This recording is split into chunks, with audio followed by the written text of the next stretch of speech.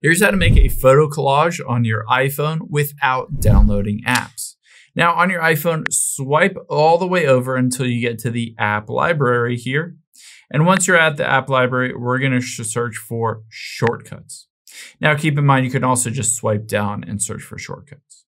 Now after you're on here, you're gonna tap on gallery at the very bottom right.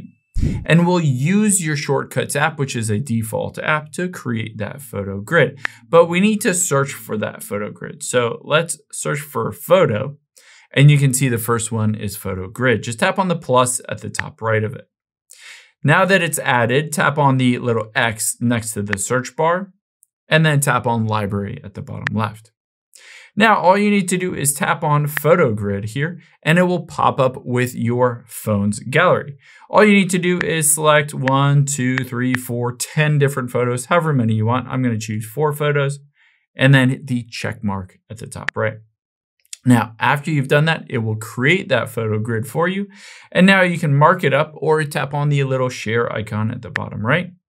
And from here, you can choose to copy it, save it into the gallery of your iPhone. You can send it through text message, email, etc. You can upload it to social media, Instagram, all that.